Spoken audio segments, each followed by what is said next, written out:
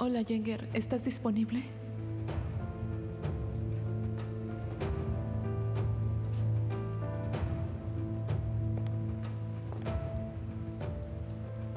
Hola, Jenger. ¿Cómo está? Igual. Cada día sin ellos es una tortura. Se me está acabando la paciencia. Pero yo no importo. ¿Cómo está Yusuf? Y él también. Yusuf está en la escuela. Está esperando a que vuelva.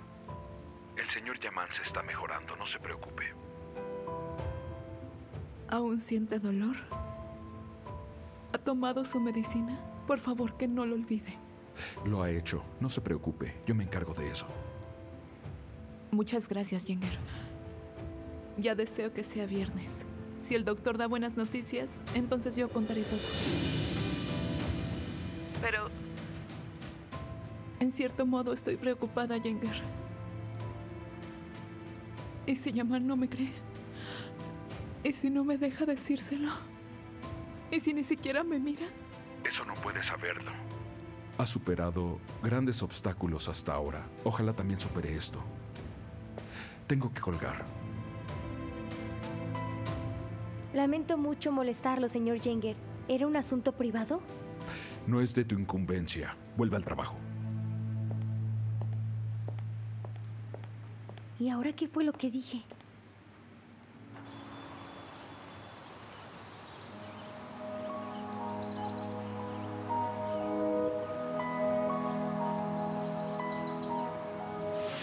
Y la verdad...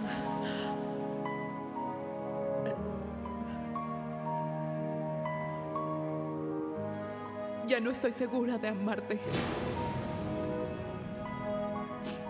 Lo siento. Lo siento mucho, pero ahora eres un hombre muy diferente. No podía imaginar que esto pasaría. Pero hay una cosa que sí sé. Y es que mis sentimientos jamás mienten. Se acabó. Se acabó.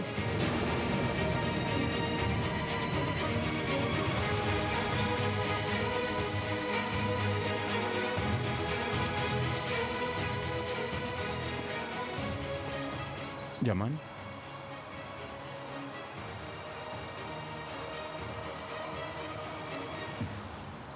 Tranquilo, Yaman. Tranquilo. Estás enojado con. Lo sé, te entiendo, pero piensa en tu salud. Agradecelo. Eso es bueno. Yo se lo agradezco a mi madre, Yaman. Ella te salvó la vida. Sé muy bien que aún no te agrada, pero ella arriesgó la vida por ti. Ella te quiere mucho, hermano. Te quiere mucho.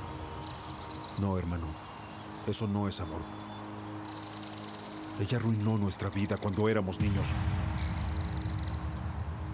Y ahora quiere pagarlo dándome un pedazo de su hígado. Lo que no hizo no se compensa. Entiéndelo.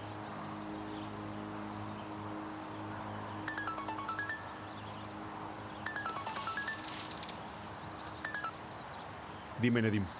Yaman, creo que ya encontramos el lugar donde se esconde, pero no es seguro. Cuéntame más. Hay una pareja que se mudó hace dos meses y tienen una niña de la edad Envíame la dirección. Yo iré a ese lugar. No tardes.